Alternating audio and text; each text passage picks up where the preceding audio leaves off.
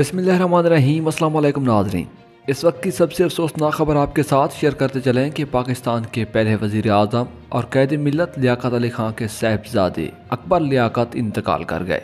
इन अल्लाह ताला से दुआ है कि अल्लाह ताला इन्हें जन्नतफरदौस में अला मकाम नसीब फरमाए। आमीन सुमा आमीन।